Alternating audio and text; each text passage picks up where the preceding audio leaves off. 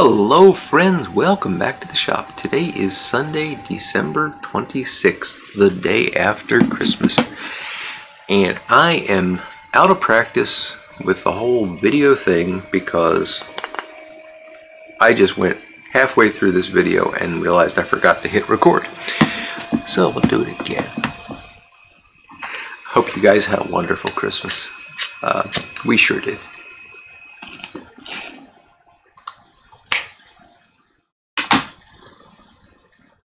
More about that, but most important thing I want to talk about today is to let you know that there will be a YouTube slash Instagram pipe smokers meetup at Boswell's in Chambersburg.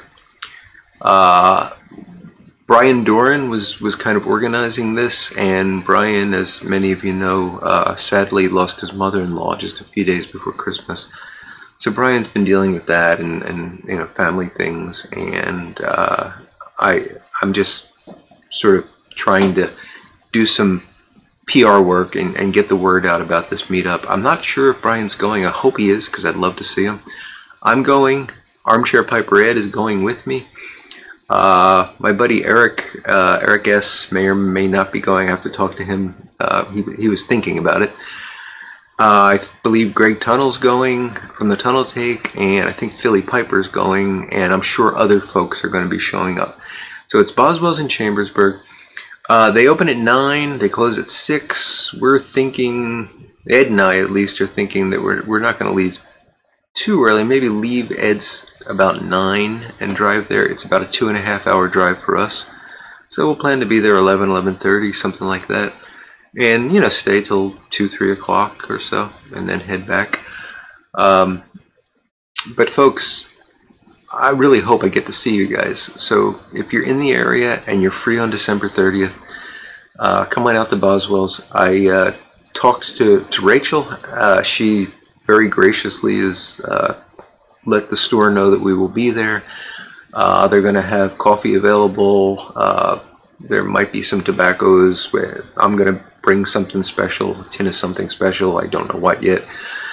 Uh, gonna bring three or four pipes, and we're just gonna hang out and share stories and tobaccos and smoke and get to know one another a bit better. So it's a great, great opportunity to meet some of us face to face, to meet some of you that, that maybe aren't video guys, but but are uh, you know viewers, and you know, I'd love that, and I know that Ed would love it too, and I'm sure Greg and everybody else that's going would love to meet folks, whether or not you're video makers, whether or not you post on Instagram. If you're part of this community, we'd love to see you. So if you're within a reasonable distance of Boswell's on December 30th in Chambersburg, uh, come on out. All right, so Christmas was wonderful. We, uh, I, I told you, my wife and I exchanged gifts, but it's not like we we really want or need anything because we sort of take care of one another during the year. But we, you know, it's nice to open gifts on Christmas morning. It's a tradition. And I did okay this year. I, I bought her three things. Uh, one of them she liked, one of them she's thinking about, and one of them she wanted to know where the receipt was. So that's not bad for me. Um, she did wonderful because she mostly let me order the things. so I was surprised by a nice box of tobacco from smokingpipes.com. Uh, she got me two pounds of Haunted Bookshop and four tins. And the funny thing is, I ordered this. You know, I, I ordered it uh, back when they had their 20% off sale. So this is quite a few weeks back.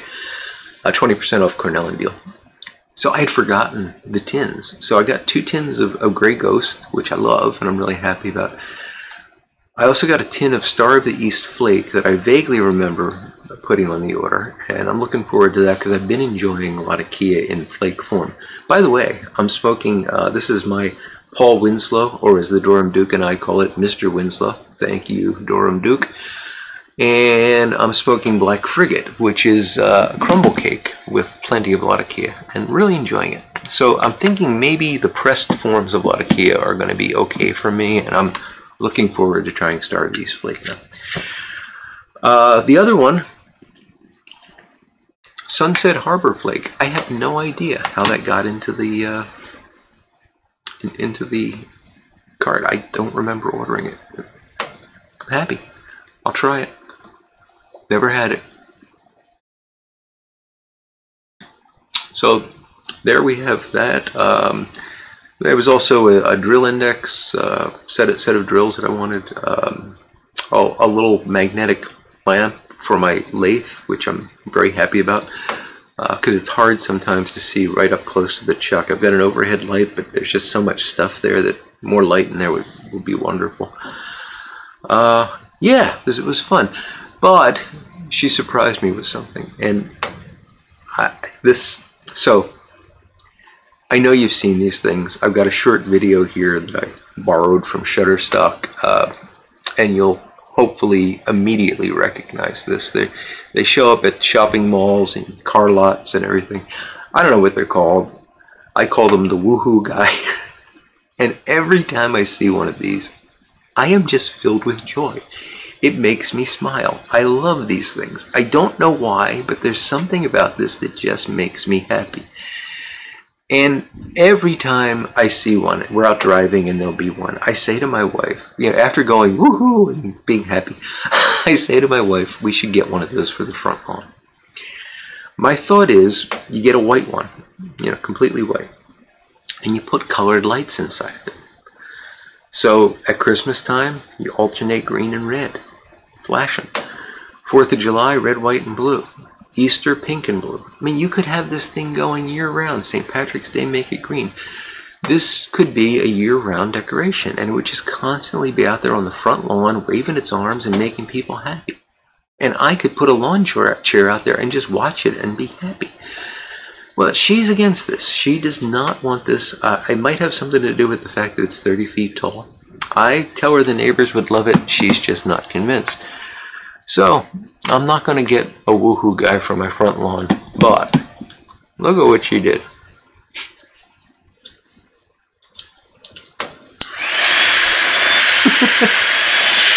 she got me one for my desk. it's a little little fan unit. It's got a little guy, and the physics make it hard. This, I'm actually surprised this works. Um, and it, it's not the same kind of movement. It would be great if it was slower, but you can't scale down the physics that well. But this is wonderful. I am so happy. This will probably make an appearance in other videos. Uh, might use it on the live stream when I get a tip. Instead of ringing the, the foghorn, blowing the foghorn, I could turn on the woohoo guy. Ah, yeah. so that was my Christmas. Hope yours was, was wonderful as well. I've got some black coffee. Ilva, Ilva, I hope your Christmas was good. My buddy Couch, Ilva's dad, I'm Ilva's godfather. Uh, Ilva's dad, Couch, uh, was talking to him the other day and he actually helped me with my Christmas entertainment. He doesn't know about this yet. So, so Couch, uh, Couch underscore incident on Instagram. I think it's the Dunning Kruger experiment on uh, on YouTube. Uh, wonderful guy. Uh, and of course, Ilva's a wonderful dog. But uh, I'll tell you about the entertainment thing, but I got to go back a bit. So, my wife and I have been having this discussion leading up to Christmas. And the discussion was silly, but we've been discussing, not arguing exactly, but discussing whether or not Die Hard is a Christmas movie. I know a lot of people think that it is. And it might surprise you to find out that I am actually on the con side here. I do not think Die Hard is a Christmas movie. I think Die Hard is a movie that takes place around Christmas. A Christmas movie should be focused on Christmas, not on a terrorist takeover of a, of a building. Now, if you like to watch Die Hard at Christmas and that's your tradition, fantastic. Traditions are important and, and, and that's wonderful. But it's not a Christmas movie. You know, if I can I can take my 1920s Dunhill, don't have one, and I can put Captain Black Grape in it, don't have any, and smoke that and be happy, and that's great, that's wonderful. but I can't call it a Savinelli with Haunted Bookshop. You're not allowed to do that. Likewise, you can watch Die Hard at Christmas, but you can't call it a Christmas movie. My wife says it is, so we decided on Christmas Eve that we were going to watch Die Hard, and we did. And, you know, neither one of us care very much. it's a reasonable movie.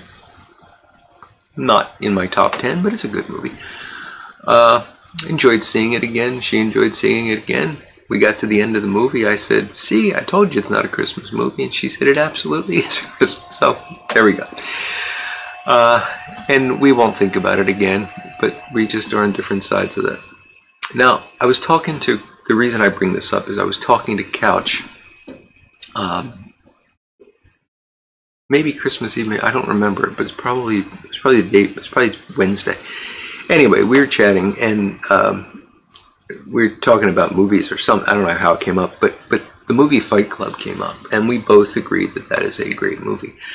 Now, Fight Club isn't for everyone. Okay, it's it's violent, it's coarse language, it's very very male centric.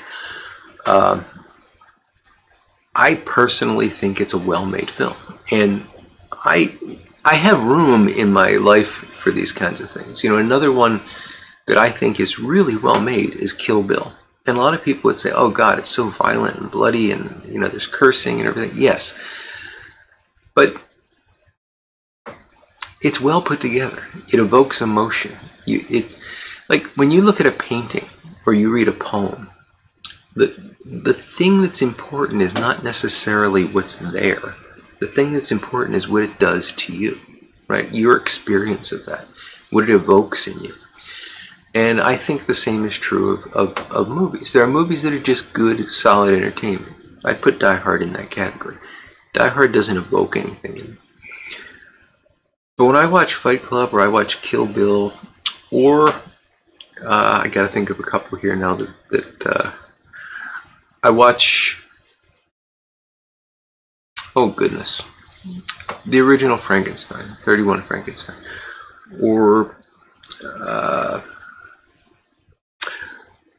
uh, Kurosawa's uh, Seven Samurai, or um, a good Western like The Good, the Bad, and the Ugly, uh, which I put in there for obvious reasons. It, those they I don't just enjoy those because they're entertaining, but they evoke something in me. And likewise, these movies do that. So, you know, it's not for everyone, but I think there's there's value in them for me. Anyway, talking to Couch about this, the thought comes into the back of my mind is Fight Club a Christmas movie? Now, there's a scene in Fight Club that I was thinking of that takes place outside they're blowing up a um, big public art display that's a big giant round ball and they basically blow up the base so that it rolls off and goes into a coffee shop uh, that's the scene I was thinking of. I thought there was a Christmas tree somewhere in there, and if there was, I was going to declare Fight Club a Christmas movie. There wasn't.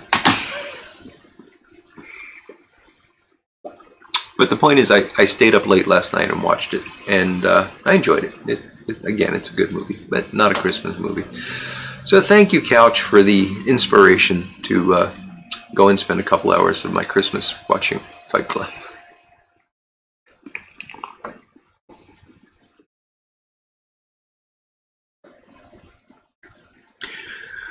So other. Uh, other news, shop news, working away. Took, took a couple of days off Christmas Eve, Christmas, but I'm going to get back to it today. Uh, still working on that stem for Mark, Bama Guitar Dude.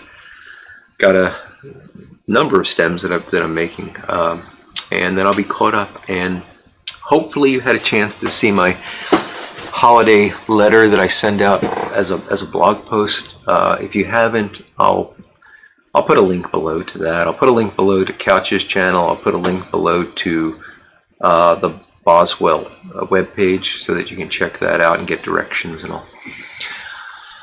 Uh, but I'll but I'll link below to my holiday letter uh, on the blog, and I don't get anything from the blog. I enjoy writing it. It's not if there's advertisements there, it's because WordPress puts them on there. I don't monetize the blog. I I'm not trying to drive traffic to it. It's just an outlet for me.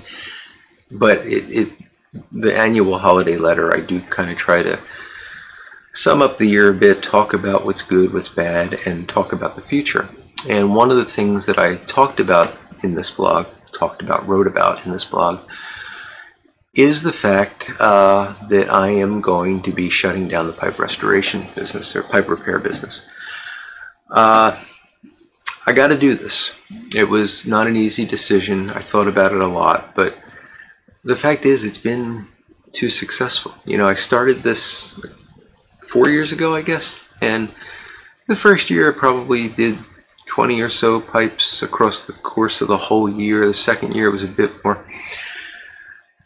This year I opened a waiting list because last year was horrible with the number of pipes that came in. Uh, I just couldn't keep up and people were waiting forever and all that. So I said, okay, stop. I'm going to not take any more orders. And then in January, I said, okay, we're going to have a waiting list. So you don't send me your pipe until I get to you on the waiting list. I opened that in January. I had to shut it in March when I got to 35 people waiting. And at that point, I said, okay, I'm going to finish this off, and once I get to the end, I'll open it up again. Well, here we are, December 26th, and I still have five people waiting. Um, I'm slow. I don't have eight hour days to work on pipes. I sometimes have an hour or two once or twice a week to work on pipes. And I won't rush it because I take pride in the work and I, I do it because I want the customer, my friend, to have their pipe back in excellent condition and to be able to enjoy it. You know, I'm not just trying to slap a replacement stem on. I want that stem to feel like it's part of that pipe and I want it to smoke better than that pipe ever did. That doesn't happen in two hours. It takes me time. I'm slow. I just can't do it you know, I can't keep up with the demand. I can't justify the financials, but that's not important to me. You know, if I could do this in a couple hours a week and not make anything on it, I'd do it. If I lost a little money, that might bother me, but you know, if it was if it was 10 bucks a week, I probably would still do it. I, that's how much I enjoy it. But it got to a point this year. And I hate to complain about a good thing. You know, I'm, I'm happy that, that it's been successful. But it got to a point this year where I did not have any time other than pipe work and regular work. Sometimes at night I would just sit upstairs with my wife. She'd put whatever she was watching on TV and I'd just fall asleep. You know, that, that was my life. And that's not good. It's not healthy. I got other interests. I've got other things I want to do. Some of which involve pipes, and if you if you read the blog, you'll get a get a hint at, at what I'm planning, uh, what I'm going to be working on in the coming year. The website is not going to go away because uh, I'm hoping that I will need it in the future, and I don't know what that means. You know, maybe someday I'll do I'll do pipe repair and restoration again. Maybe when I retire, I'll have the time for it. Maybe I'll just make cob stems and put them up on the website once in a while, or I'll, I'll make tampers and put them up on the website once in a while. I don't know. But I'm going to keep the website. And I might make other things. We'll see. But sadly, the pipe repair and restoration business is being closed as of, uh, well, as of today because I'm not taking any new customers. But I'm going to finish those five that I've got, and uh, that will be the last, uh, at least for now. So it was hard to decide that. I'm sorry to folks that might be hoping for a future time slot, this future slot to get their pipe work done. I can recommend other folks uh, if you get in touch with me. And you know, the tools are here. I'm not gonna I'm not gonna say no to a friend that needs something done.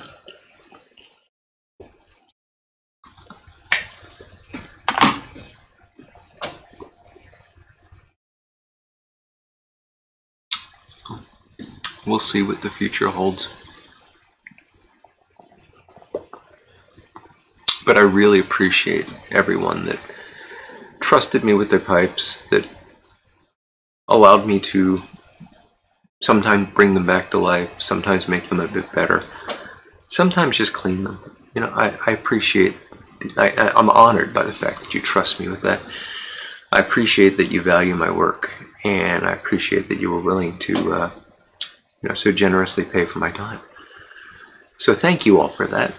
Uh, and I'm sorry that I just can't continue to provide that service.